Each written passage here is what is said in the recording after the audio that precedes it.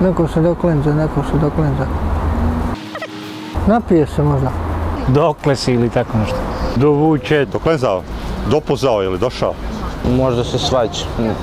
Došao. Stigao. Dođe ili nešto.